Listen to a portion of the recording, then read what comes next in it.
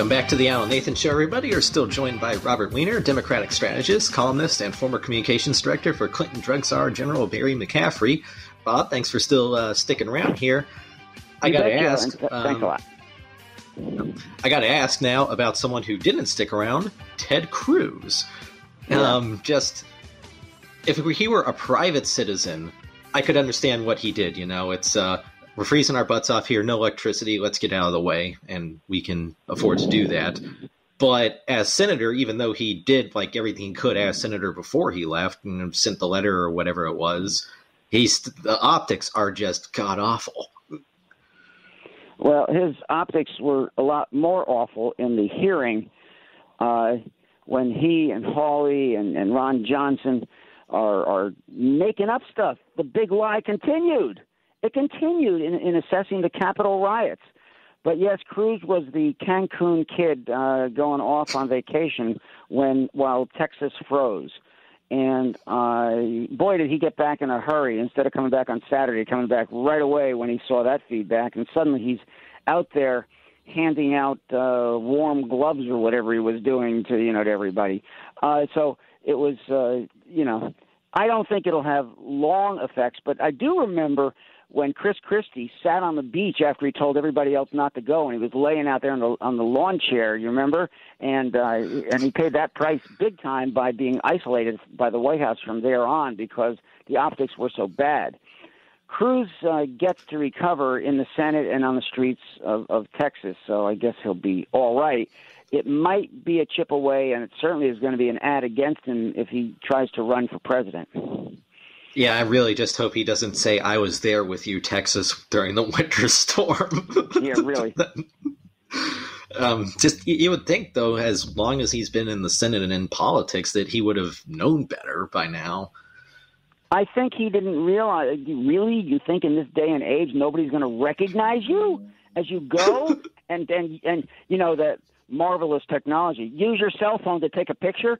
I mean, luckily we've got that protecting us not only from things like Ted Cruz going to Cancun, but police brutality now. So at least you know I think that's a, a development.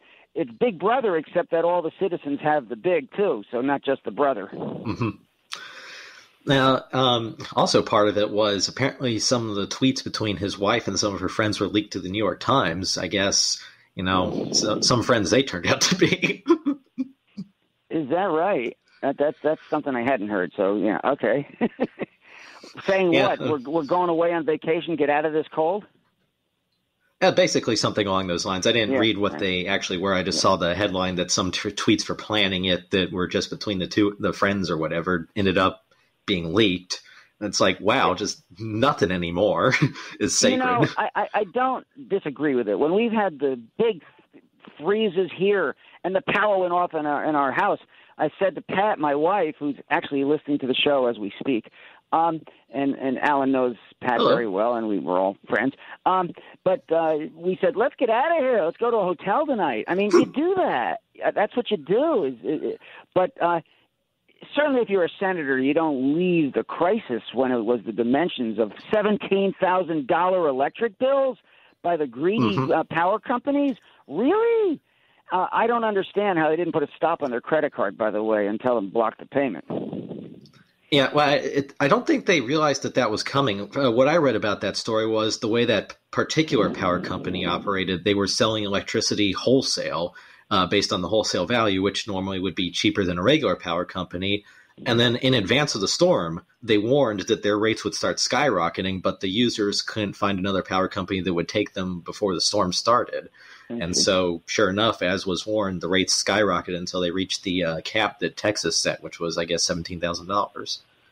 Well, I asked in the White House briefing. I asked uh, Bossert. I, I forget what his first name is, John Bossert or whatever his name was, who was the uh, the guy who was uh, in charge of oil pricing, and he told me, he told the world in the White House briefing when I asked the question that federal law blocks price gouging and that he would uh, attack anyone who tried to do it. I have not heard that that strategy used here, but the problem may be that uh, Texas decided not to go the only state in the union with the federal guidelines on that issue on energy and power.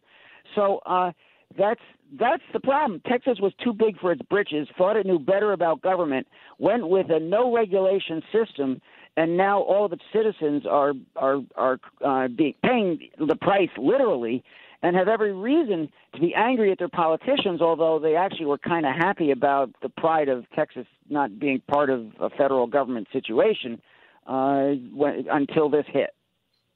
Hmm. Yeah, and then uh, the disaster relief rolled out too. Uh, I mean, Biden only did partial. Now, uh, his re- what was his reasoning for that exactly? Only seventy-seven counties out of, I guess, two hundred forty-four. Uh, was it that uh, he said he was waiting for more information, right? Well, that's not unreasonable. I'm sure he'll get there if it merits it. Biden mm-hmm. doesn't govern, you know, red or blue, and he made that commitment, and, and he certainly went there. And, and he, look, he didn't throw paper towels at the people anyway and he's headed there. What this this week? Oh, he is hanging there. Okay. Uh, last yeah. I heard, oh, he yeah, said that uh, he was not going to travel immediately because he wanted to. He didn't want to uh, overcomplicate matters by his presence in the disaster zone or whatever. Like you know, divert resources from disaster relief to. Oh, he, he uh, did make that decision him. earlier, but now now he's going, and I believe it's scheduled, and I believe it's scheduled, uh, if I'm not mistaken, for Friday. Oh, okay. But probably I didn't hear that not uh, tomorrow. Probably next week is what I. Yeah. So, but he is going, and it is on the on the White House calendar. Okay. Yep. Gotta gotta keep the optics in mind. You know, I actually agreed with his reasoning on that matter, staying out of the way. And I, yes. you know, personally, if Ted Cruz said that that's what he was doing by, you know, I can afford to be out of there, you guys can't. You know, I, me personally, I think that would have been acceptable, but. You know, just no. optics are totally and, different. I say no because he would have he needed to get FEMA, he needed to get Small Business Association loans, he needed to get uh, money mobilized from the feds in a hurry to help the people who were hit by this uh, freeze. So that was his job. That's what you do as a federal Congress or senator caseworker is you, and and as a as a national organizer, you get the federal agencies involved, and, and then you help your specific constituents with problems. So no, that that that doesn't cut it. Okay, I mean, I thought he had done all that before he left. Anyway, I read that he had done whatever he could have done at that time before he left, um, in order for FEMA, for example, to become involved. Uh, As he hmm? left, it was snowballing. Oh, so he left at the wrong time. Then he did everything before, but there was more to do, and he left before he did the more that there was to do. right. Okay. Well, in that case, that was really a terrible move on his part. Oh, Bob Weiner, thanks for joining us today. I appreciate that you didn't bail out in the middle of the segment. yep, right. and listeners, thank you for joining us on the Alan Nathan Show today as well. I'm glad you all didn't bail on us like uh, Ted Cruz as the show was snowballing and building to this ultimate conclusion.